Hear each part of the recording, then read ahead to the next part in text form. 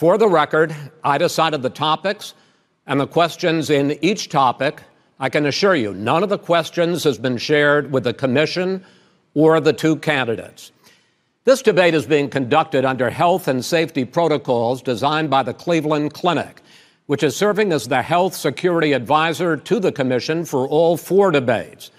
As a precaution, both campaigns have agreed the candidates will not shake hands at the beginning of tonight's debate.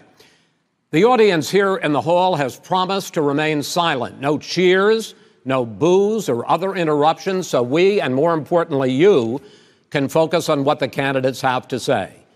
No noise except right now as we welcome the Republican nominee, President Trump, and the Democratic nominee, Vice President Biden.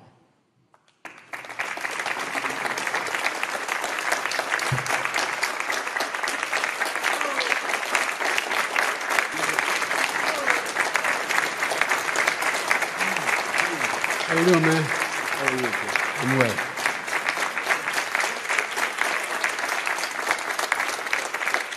Gentlemen, a lot of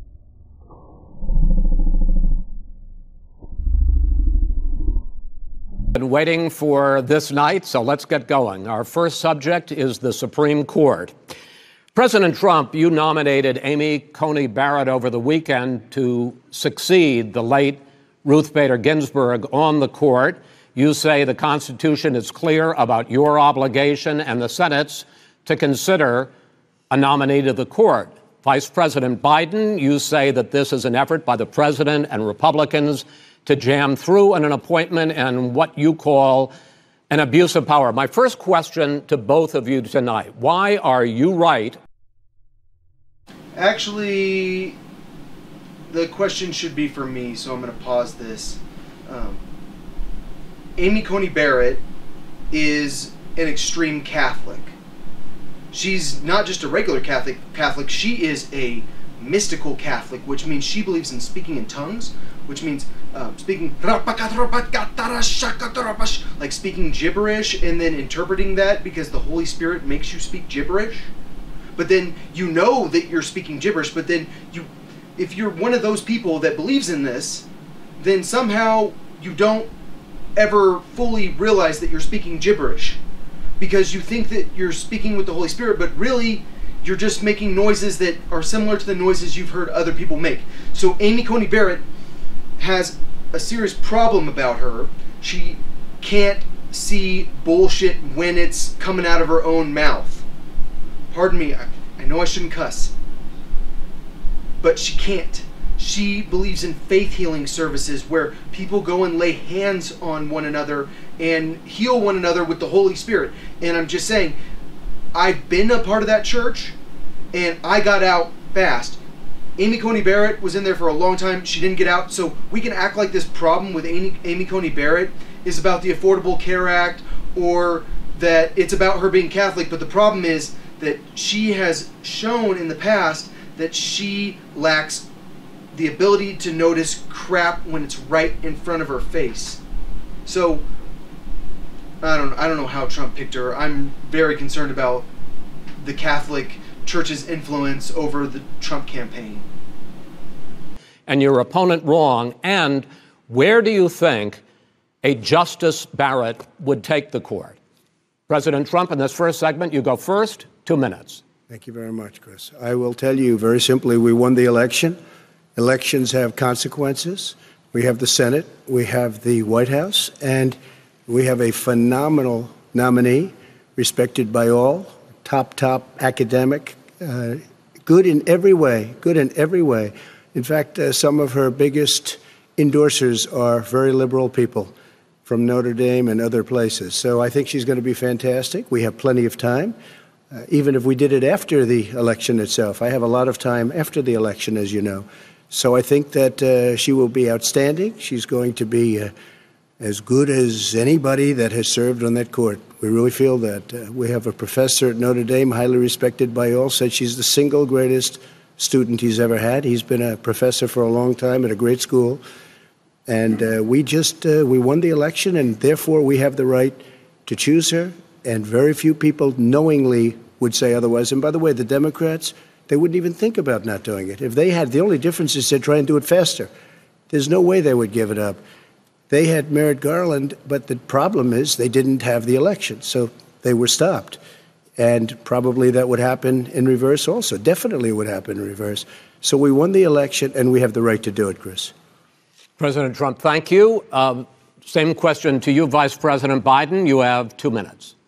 Well, first of all, um, thank you for doing this and looking Thank forward you. to this, Mr. President. Thank you, Joe. I, uh, the American people have a right to have a say in who the Supreme Court nominee is. And that say occurs when they vote for a United States senators and when they vote for the President of the United States. They're not going to get that chance now because we're in the middle of an election already. The election has already started. Tens of thousands of people have already voted. And so the thing that should happen is we should wait. We should wait and see what the outcome of this election is. Because that's the only way the American people get to express their view is by who they elect as president and who they elect as vice president. Now, what's at stake here is the president's made it clear he wants to get rid of the Affordable Care Act. He's been running on that, he ran on that, and he's been governing on that. He's in the Supreme Court right now trying to get rid of uh, the, the Affordable Care Act, which uh, will strip 20 million people from having insurance, health insurance now, if it, if they if it goes into court, and and uh, the justice and I have nothing. I'm not opposed to the justice. She seems like a very fine person, but she's written before she went in the bench, which is her right, that she thinks that the Affordable Care Act is not constitutional. The other thing that's on the court, and if, if, if it's struck down, what happens? Women's rights are fundamentally changed. Once again, a woman could be helped pay more money because she has a pre-existing condition of pregnancy. We were able to they were able to charge a woman more for the same exact procedure a man did gets. And that ended when we in fact passed the Affordable Care Act.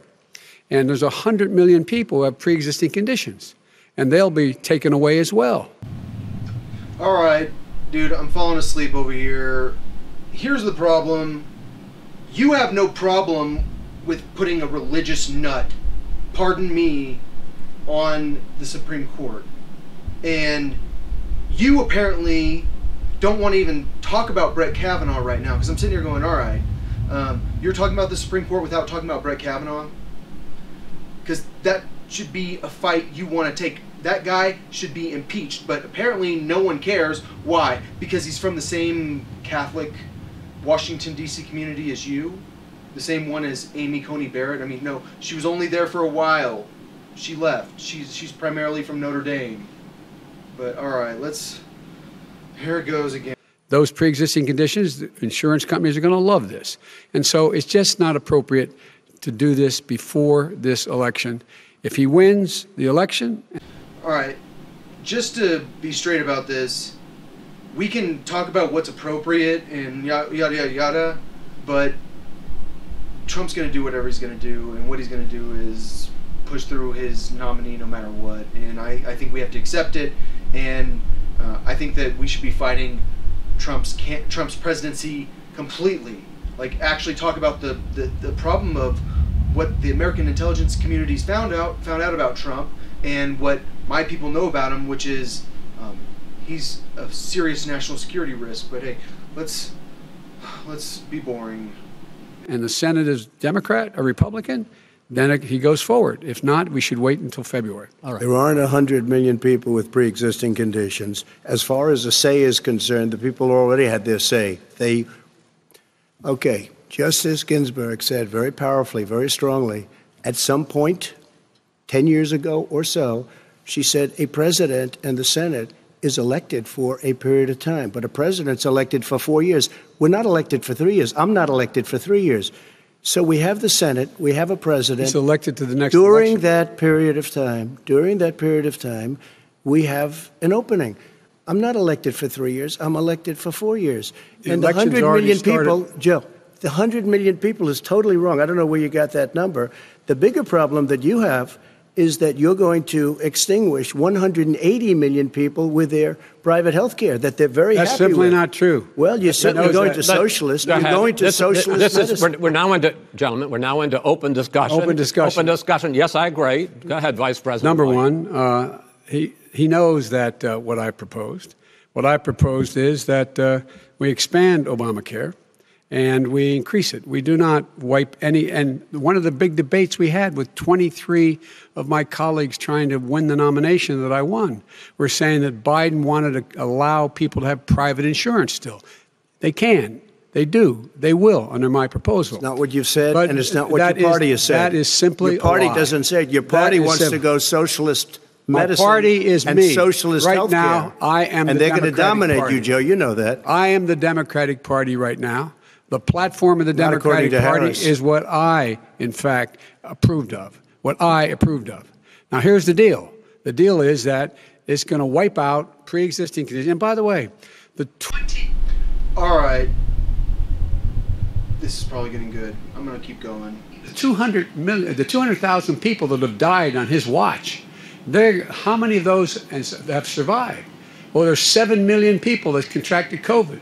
What does it mean for them going forward if he All right. All right. First of all, COVID 19 is not Trump's fault. And what we should blame Trump for is for letting COVID 19 spread to so many corners of the United States so it's difficult to find. Um, I'm gonna I'm gonna let you keep talking. if you strike down the Affordable Care Act. and Joe, you've had 308,000 military people dying because you couldn't provide them proper health care in the military. So don't tell me about that. I'm happy to talk about And if you were here, you, it wouldn't be deal. 200, it would be 2 million people because you were very late on the draw. You Late didn't want the me to ban China, which was heavily infected. You didn't want me to ban All right, we're, gentlemen, Europe. we're, we're- All right, all right. First of all, China actually beat COVID 19. More than anything, though, what I want to talk about is how neither of your plans do enough to change healthcare because the prices keep skyrocketing, and who's making money right now? Who's making money? Does anybody know? Trump knows.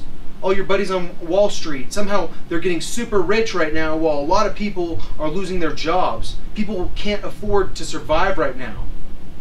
So we need someone that's going to come in there and be able to make deals. And honestly, I don't know who that is. Um, hopefully that's going to be. all right, that's a bad way to debate. But all right. So what I'm trying to say is Biden doesn't have a public option. Not that, not that I know of. He wants to expand Obamacare, which Obamacare made some people that don't have anything to do with healthcare. All they are, all they do for a living, is work at hedge funds. He, they got so rich off of Obamacare, and that's basically the they got rich off the government. And Biden, in my opinion, took some bribes, which everyone did, because the healthcare industry is always bribing people into believing what they believe, which is that a public option is stupid. But in my opinion, what's stupid is the government spending a trillion dollars that's going to end up in the hands of bankers who are betting on Washington, D.C., paying healthcare companies a lot of money. So, all right. Mr. President, You would have Mr. been much President, later, Joe. Mr. President, much later. Mr. President, You're talking about 2 million people. You're not gonna to President, as shut the moderator, we are going to talk about COVID in the next segment, but go ahead. Let me finish. The point is that the president also is opposed to Roe v. Wade. That's on the ballot as well in the court, in the court. And so that's also at stake right now. And so the election is all You don't know it's on the ballot. Why is it in the ballot? Because because Why is you it on the ballot? It's not you're- on the ballot. It's on the ballot in the I court. don't think so. In the court. Well, There's nothing happening there. Donald, would you And you just be don't quiet know her minute? view on Roe v. Wade. You I don't, don't know her know. view. Well, all right. Let's all right. Let's talk. I would.